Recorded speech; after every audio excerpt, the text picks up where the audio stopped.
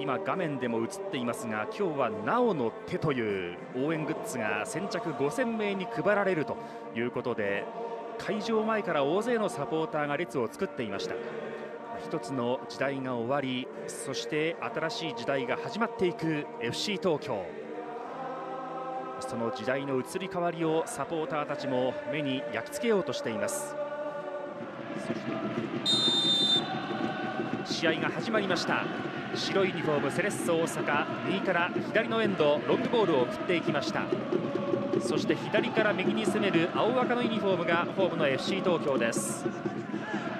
中盤のルーズボール FC 東京が触りました。左サイドボールを運んでいく。中に入れて逆サイドフリーダッシュート！いきなり先制 FC 東京ジャキットのゴール。開始23秒。FC 東京が先制に成功しました。中盤のルーズボールを拾って左サイドからのクロス。パーに流れてサイドは最後はジャキットのゴールです。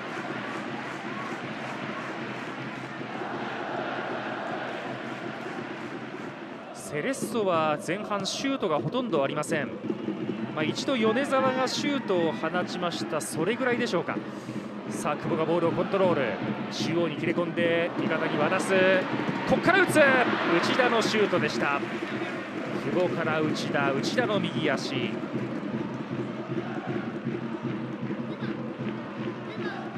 まくディフェンスを引き寄せ。そして内田に渡しました。小林は187センチあります。さあどこを狙うか。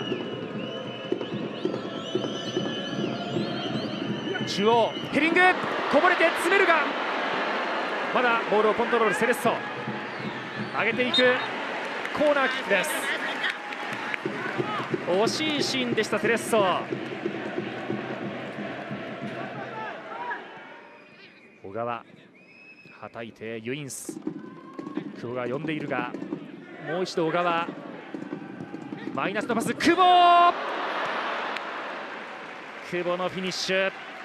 いい形でした FC 東京。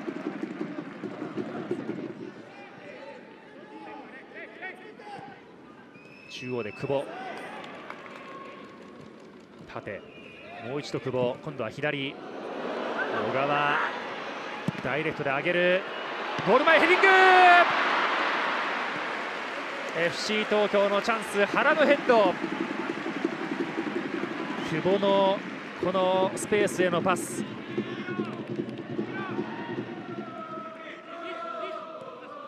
大山。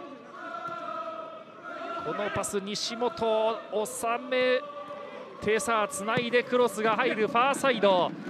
胸トラップからシュートに行く。広末のセーブ。ナイスセーブです。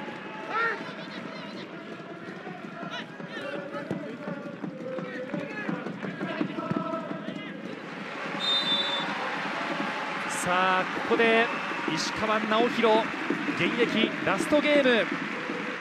背番号18がピッチに投入されます。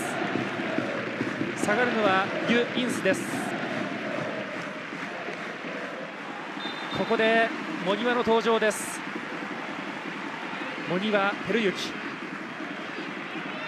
右サイド沖野に代わっての投入です。さあコーナーキック FC 東京。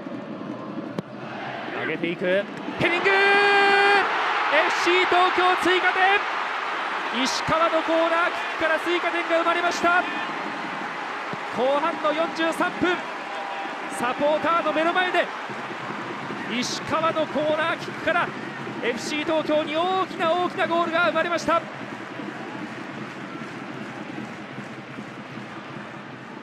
コーナーキック蹴るのは船木。選手はペナルティーマーク付近に固まってそこから散っていきます。ヘディングシュート！石川のディフェンス届かずゴールネットが入れました。1点を返したセレッソ。今日もセットプレーから得点をしましたセレッソ大阪。西本のヘッド石川も懸命にジャンプをしましたが及ばず。ここで試合終了のホイッスル。石川直弘の現役ラストゲーム。FC 東京 U23 勝利で終えました。2対11点差。